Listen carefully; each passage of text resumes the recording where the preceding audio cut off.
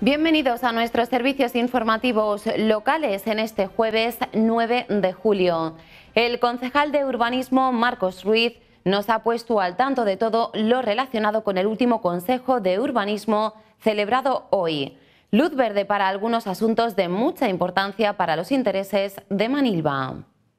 Esta mañana se ha celebrado un nuevo Consejo de Urbanismo para tratar algunas cuestiones de interés para los vecinos de Manilva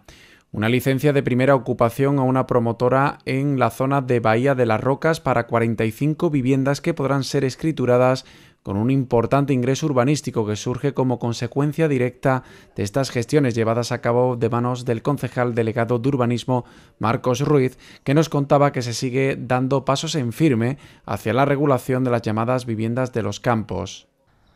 Un nuevo Consejo de Urbanismo, el que hemos celebrado esta mañana, para dar trámite a importantes asuntos de diversas características, porque hemos dado tanto una licencia de primera ocupación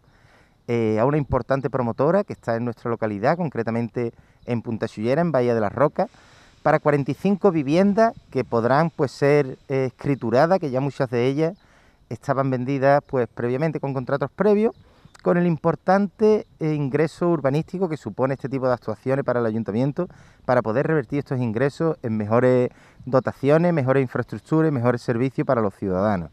También se ha dado curso de algún SAFO, de situaciones de, asimilados fuera de ordenación, para las viviendas en los campos que estamos intentando de, de regularizar dentro de nuestras posibilidades. También se ha cursado trámite a una reparcelación en la zona conocida como Hacienda Guadalupe y también se le ha dado trámite a una reparcelación en Hacienda Guadalupe, histórica, porque llevaba desde el año 2005 en trámite, eh, más de 200 escritos en esta reparcelación, tanto del propietario como de informes del ayuntamiento y contrarrespuestas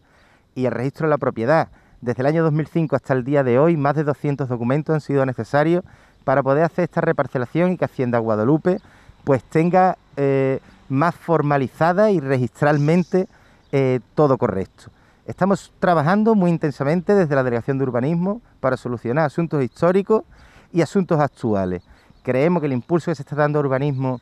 es vital, tanto para tener una ciudad, un pueblo más como todos deseamos, y también pues para poder solucionar problemas históricos que nos hemos encontrado y estamos buscando pues la mejor vía posible.